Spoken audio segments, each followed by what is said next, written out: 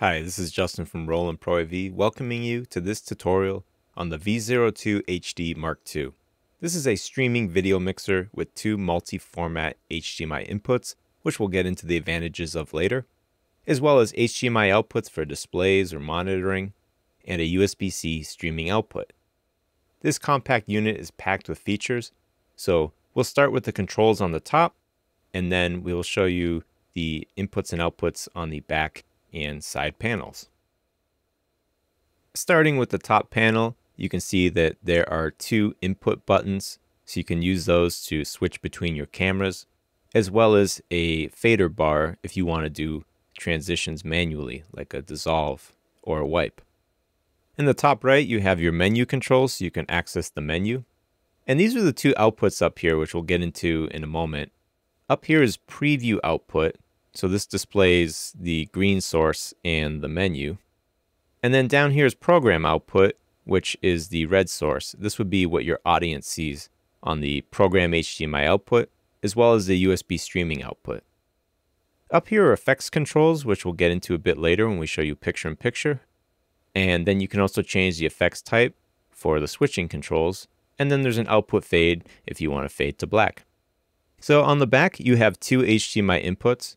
And when we talked about multi-format inputs at the beginning, that means that these have scalers. And what those do is they automatically adjust the video. So if the resolution that your camera outputs doesn't match the V02, it will resize it automatically to match the output format. And don't worry, we'll get into all that in a bit when we go through the menu settings. On the program and preview output, which I just pointed to previously, and both HDMI outputs share a separate scaler as well.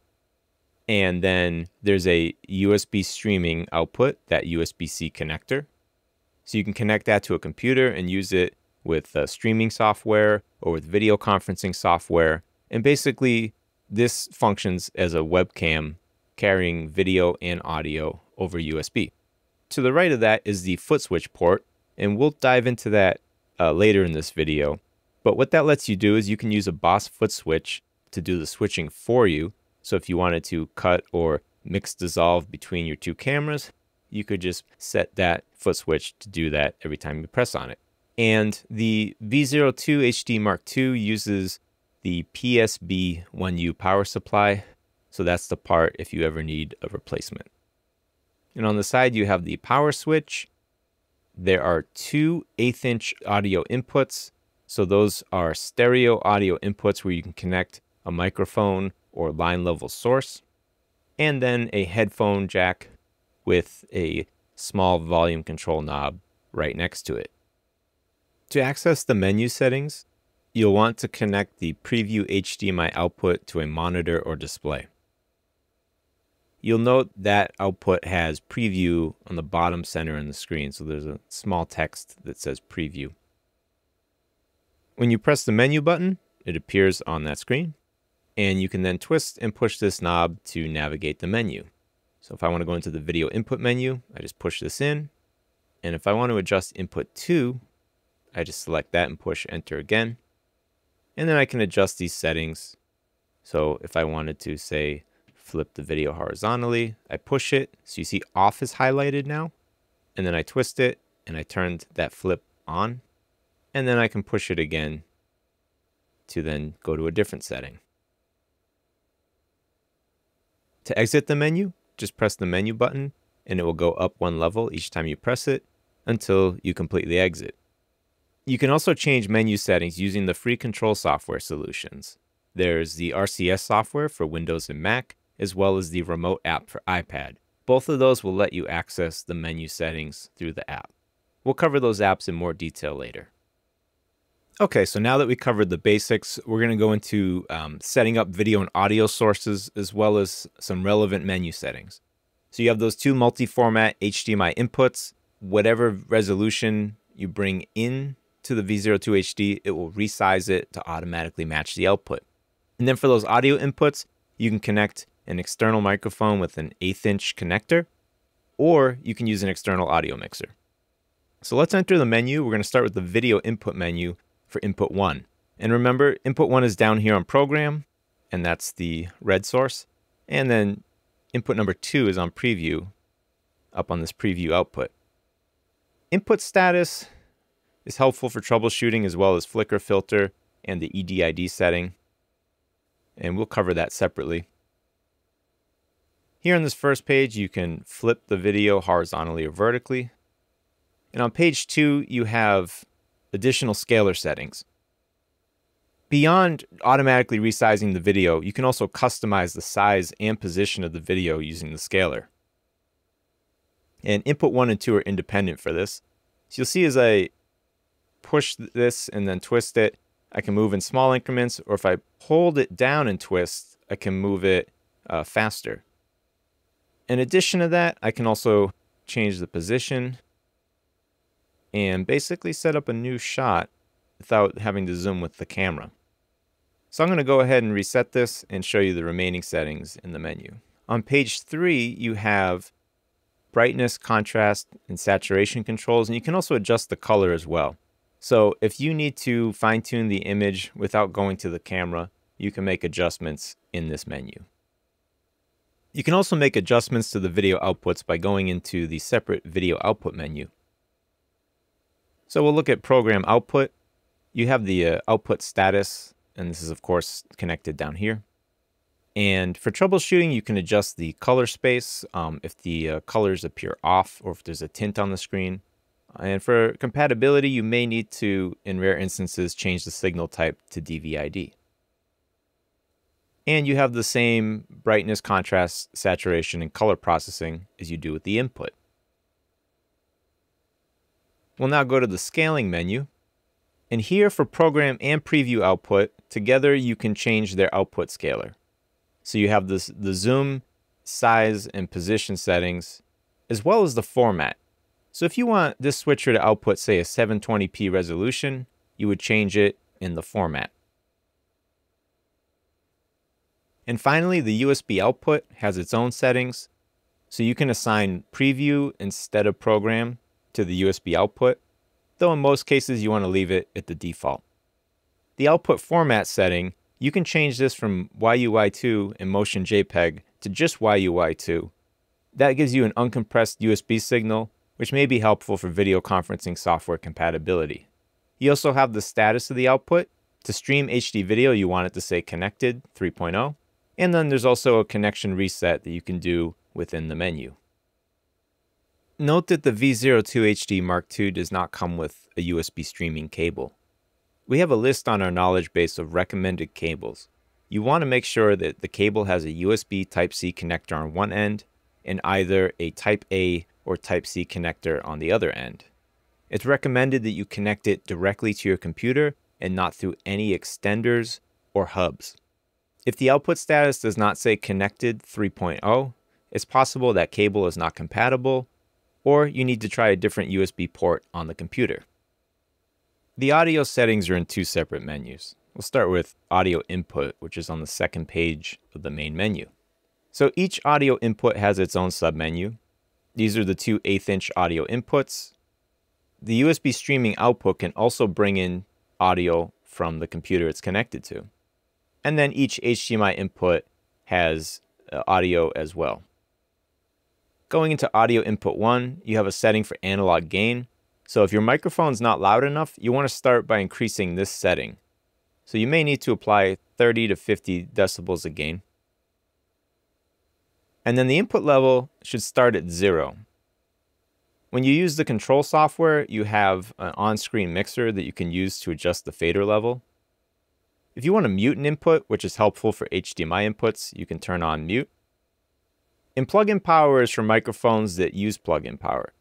So do not turn this on unless you know your microphone requires plug-in power.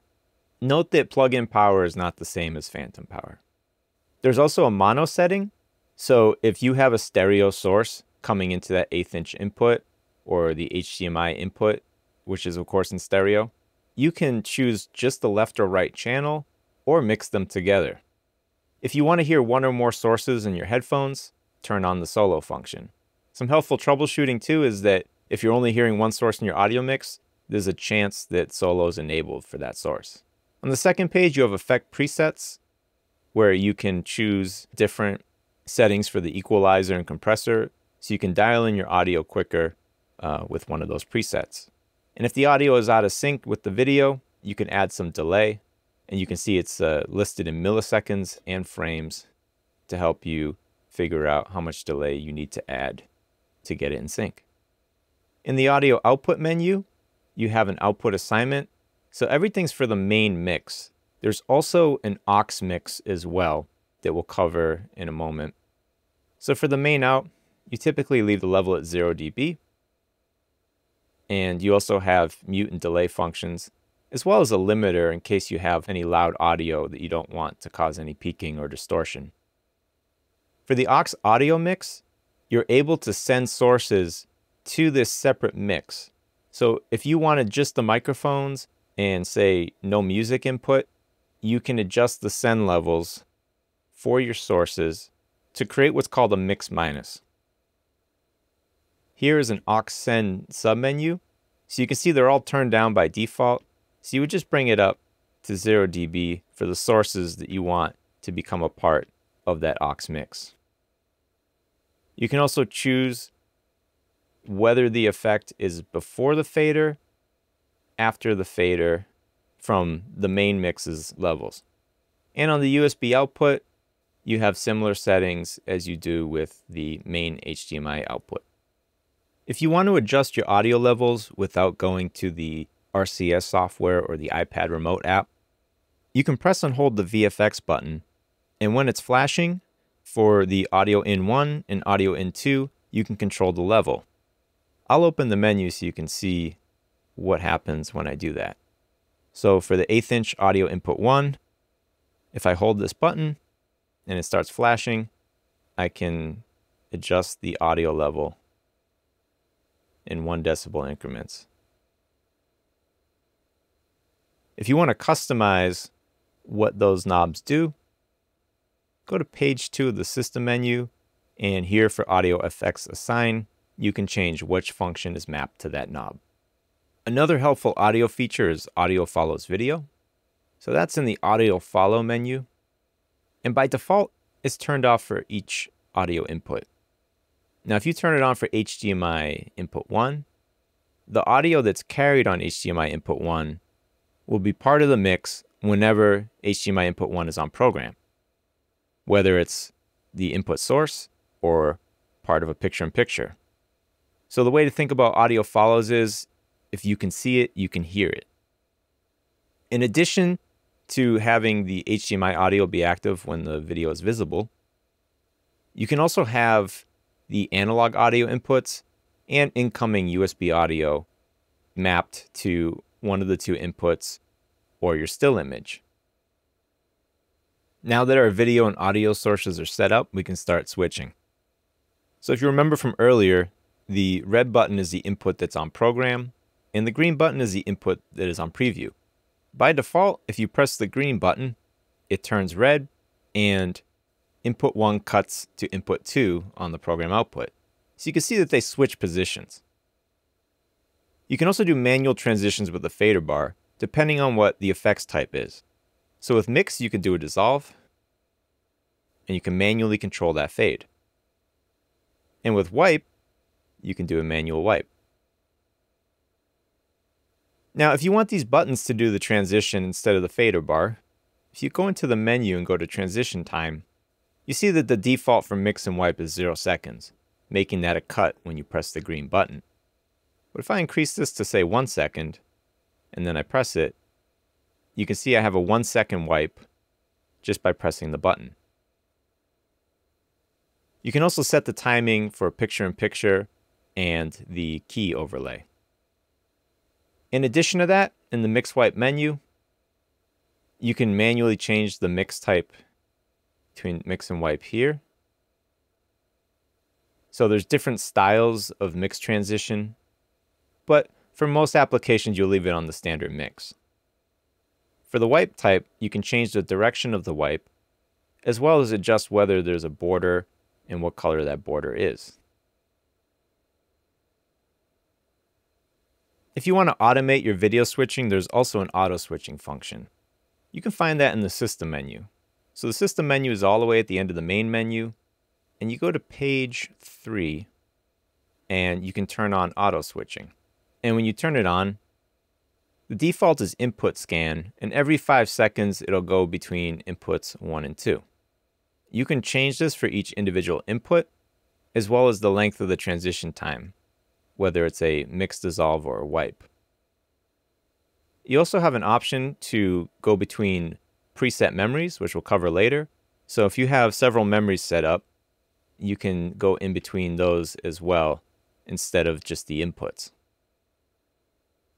With the USB streaming output connected directly to a computer, you can record or stream that USB video and audio signal using software of your choice or some free solutions from Roland.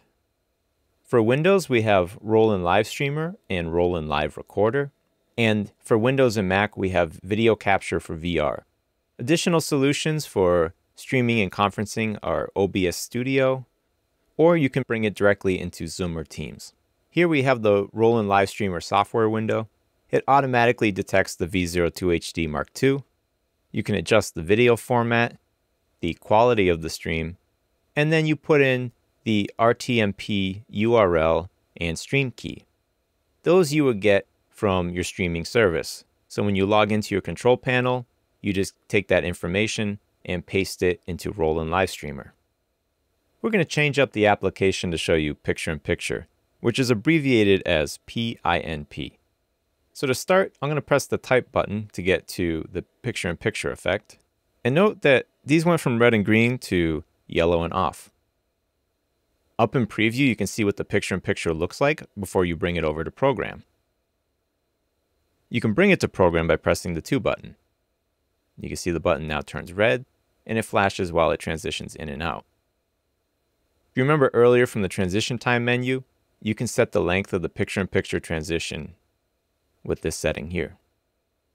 But before I take the picture-in-picture -picture to air, I want to adjust the picture-in-picture -picture settings in the menu. You also have effects controls. These act sort of like a way to quickly adjust the picture-in-picture -picture window without having to go into the menu. So maybe I want to put this window on the bottom right. If I want to make it smaller or larger, I can push and twist and I can zoom in on it by pushing and twisting the Control 2 knob. But I want to fine tune this a bit more, so I'm going to go into the picture-in-picture -picture menu. Here you can fine tune the position and size manually, as well as set the cropping for the window. So for example, if I want to make this, say, 50%, and then on page 3, I can adjust the horizontal position to center the gamer in that picture-in-picture -picture window. So now I have a nicely cropped picture-in-picture because I don't need the full widescreen image. And so when I bring that to program, you can see there's my picture-in-picture -picture that's going out on the program and USB streaming output. In addition to that, you can also change the border for the picture-in-picture. -picture just like you can with the wipes. And once that's set, I can just turn it on and off using this 2 button while it's in the picture-in-picture -picture mode. You can also swap which source is in the window and which source is the background by pressing the 1 button. We're going to change up applications again to now show you the key function. So what a keyer does is it takes one of the inputs and overlays it on top of the other input, and then can remove a color from the source that's on top to help create transparency. That's great if you have a lower third, a logo, or someone in front of a green screen. There's two types. There's Luma key, which can remove white or black from the key source, or there's Chroma key, which can remove any color.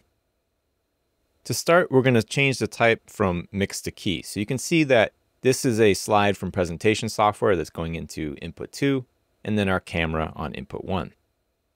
So when I go into key mode, you see that the default settings remove the black background from input 2. So up on preview, we can see what the graphic would look like before we brought it to air. So just like with picture-in-picture, -picture, you can swap sources with button number 1, and you can bring it to air with button number 2, or manually use the fader bar. And if you use that 2 button to bring the key source in, in the transition time menu, you can set the key time just like you would with mix wipe or Picture-in-Picture. We're now going to go into the key menu, talk about some of the features here. So the key level sets the amount of removal. The default is a uh, Luma key set to black here. And if I turn this all the way down, it's back to like it was when it was in mix mode. So you can see that that's what the graphic would look like. So if we turned it on, we wouldn't have any transparency. I'm going to bring it back up to that 64 value. And you can also fine tune it with the gain setting.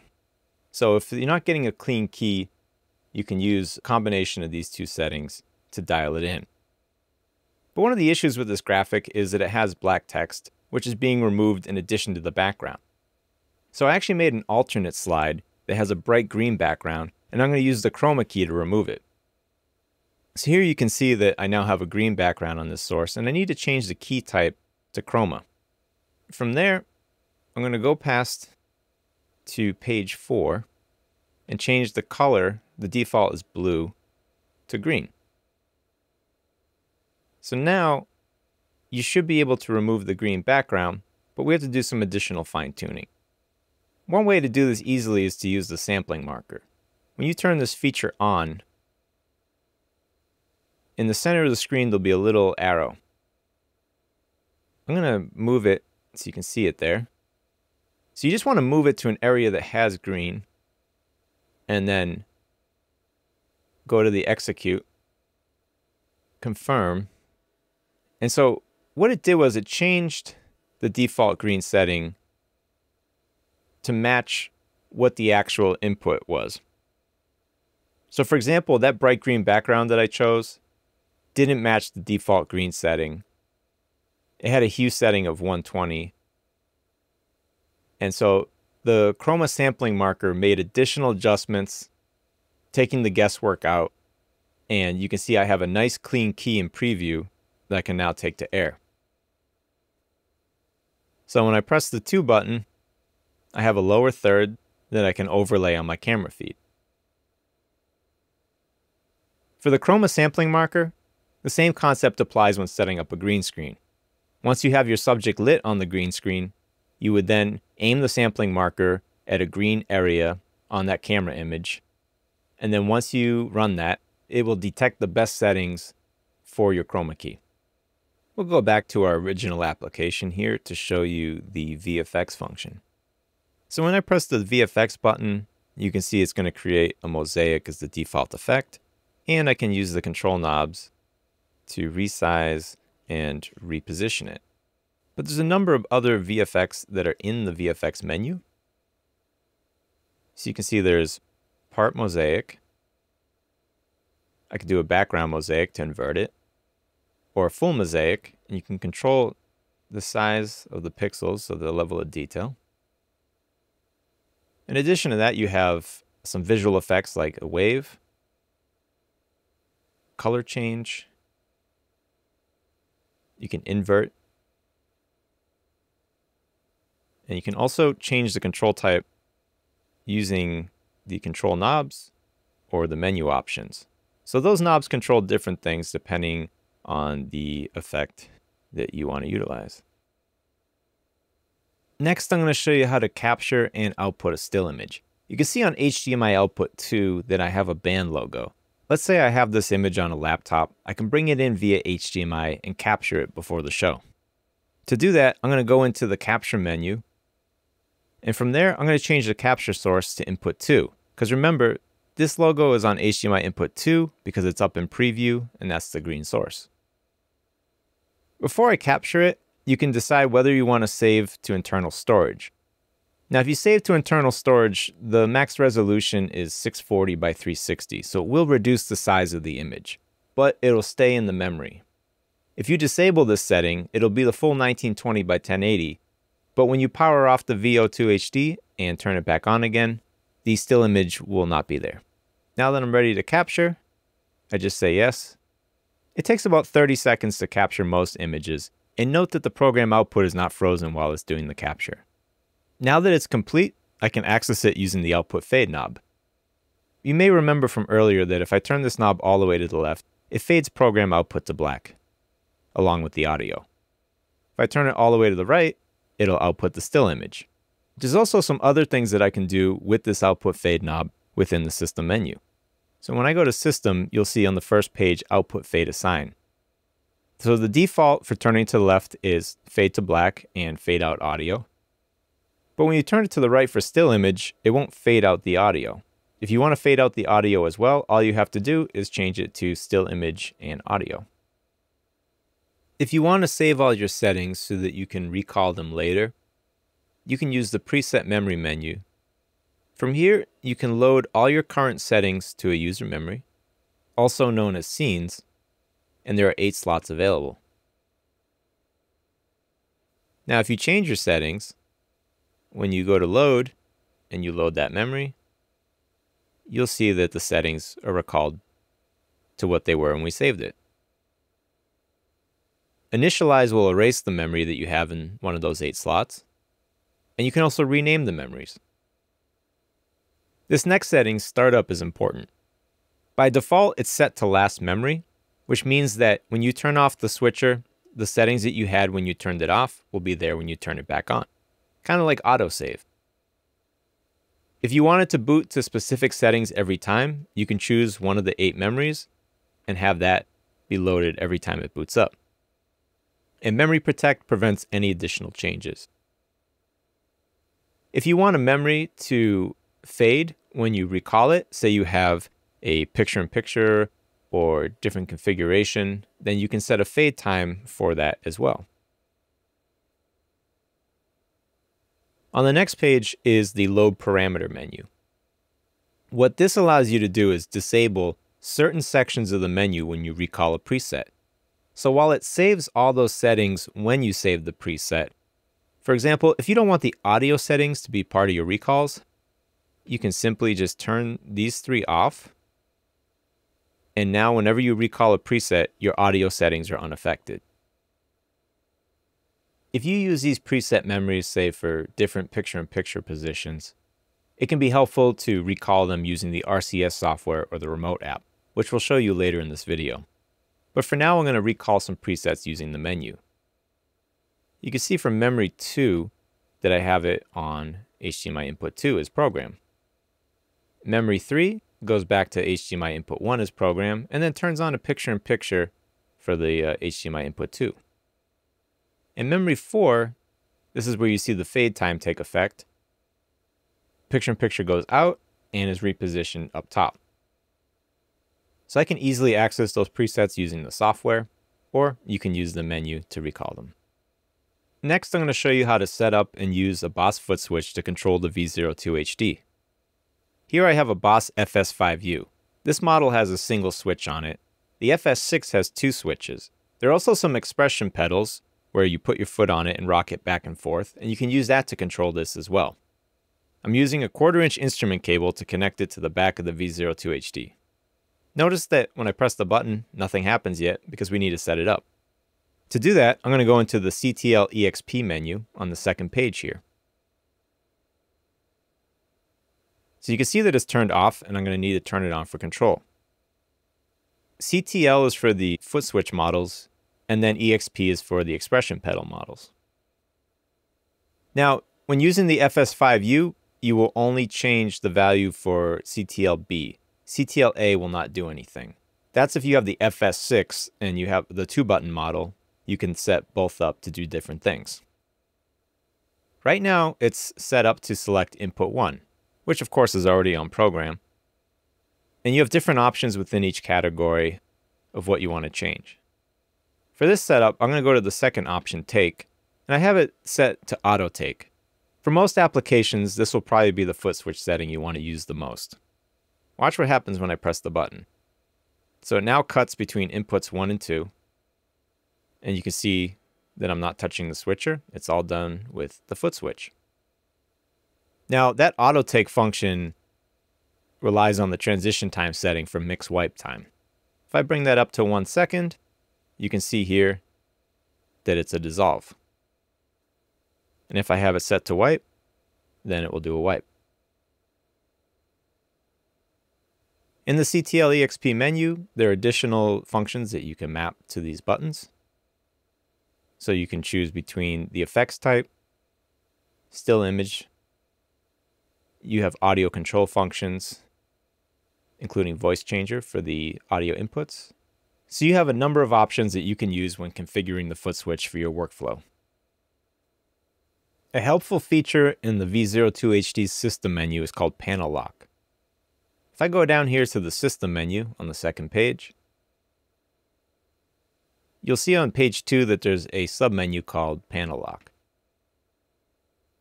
When any of these options are turned on, the physical control on the panel will be locked and no longer function.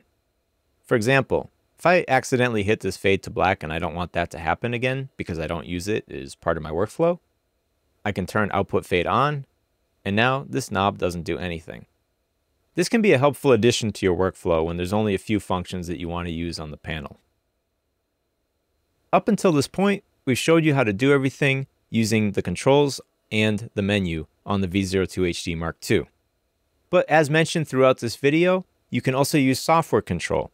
We have the RCS software for Windows and Mac, and the remote app for iPad. The RCS software you can download from the product page, and the remote app from the App Store. The RCS software and remote app are nearly identical in the way that they look and operate. So for this demo, we're going to use the RCS software. We're connecting to it using the same USB stream cable that's connected to the computer. So you can record or stream at the same time as using the RCS software. If you're using the remote iPad app, you're going to need to instead connect that USB cable to an adapter that has lightning on one end and USB type A on the other. Once you have that connected, you can use an iPad to control the switcher, but you will not be able to stream or record using that USB output. When you open the RCS software or remote app, you'll see in the top right corner that it'll say online if you're connected. From the main screen, you have access to controls like you do on the hardware, so you can switch using the mouse or your finger, as well as the effects type settings. So here you can see all the different wipe settings, so you can quickly change them. So the RCS software and remote app are a great way to experiment with different settings. Here you have the picture-in-picture controls where you can also move and resize the picture-in-picture window from the software, as well as the keyer settings where you can set the sampling marker position. There are also two arrows, so if you click on this right arrow, notice that the top section stays the same. So your output fade, the auto switching function is conveniently placed here, and of course your preset memories. To recall a preset memory, you just click and it'll recall it. And of course, also you have access to the uh, setup menu as well. And from here, you can pull up the setup menu and go into the different menus as you would with the menu knob. So you can see on the audio mixer screen that you have faders, so you can control levels, as well as a setup screen, which is like a channel strip. So you can set the equalizer, the compressor, and the noise gate, and also call up effects presets. So if you want to quickly dial in your sound, you can do that by starting off with a preset. So this can be a helpful way to quickly dial in your audio settings by using this RCS software, and you can jump from channel to channel using these green arrows. This is also a helpful way to set up a mix minus. So here, as I mentioned earlier in the video, when you want to set up sends to the aux channel, you are able to do it all on one screen using this aux setup menu. On the leftmost screen, you have all your preset memories. Here, you can change the name of each preset. You can name input 1 and 2 as well as the still image. And you can save and erase these memory slots. And all you have to do is click on it to recall it. So you can see here I have some various picture-in-picture -picture presets expanding on what I set up earlier in the video. And then also some of the VFX. So here I have some of the various VFX mapped to presets as well. So you can get pretty creative with the memory presets and configure them to your workflow. To receive notifications of firmware updates, make sure to register your product at roland.com slash backstage. Whenever a firmware update is released, you'll get an email notification. To download the latest firmware for your V02HD Mark II, just go to proav.roland.com go to Products along the top and choose Video Switchers. Scroll down until you see the V02 HD Mark II. And this is the product page, so be sure to bookmark it. From there, you'll see Downloads. And when you click on Downloads, there are two things that you need to download. The first is the V02 HD Mark II utility for Windows or Mac. You'll use that to apply the update. Also note that this is where you download the RCS software that we just demoed. And up here is the V02 HD Mark II system program. This is the firmware file, so when you click on this, it'll take you to a download page with update instructions. There are also update instructions available on the knowledge base. To download, just check the box and then the orange download button. From there, you will unzip the file and you'll access it using the utility software. When you install and open the utility software, the default mode is to back up and restore your settings. To get into update mode, what you want to do is power off your V02 HD Mark II, press and hold the VFX button, turn the power on, and then let go of VFX. You'll now see that it says Update. From there, I can click on this Update button, choose the file that I downloaded on my computer, and once you have that .bin file loaded, you can start the update here. The process takes about three minutes. When it's finished, it'll ask you to restart your V02 HD Mark II, and then you'll have the latest firmware when you turn it on again.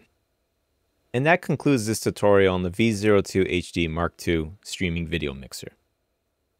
I hope this presentation was informative and helpful, but if you have additional questions, please check out the links in the description of this video, and be sure to visit roland.com slash backstage where you can contact product support.